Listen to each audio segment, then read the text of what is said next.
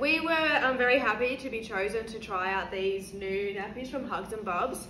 Um, they have a really cute koala design pattern on the on the nappies, and the nappies are really stretchy, um, both on the front and at the back, so nice and comfortable for little bub. Um, our little boy here has a little bit of sensitive skin, and we have noticed that these have not caused any extra breakouts or any extra rashes, which is really really good.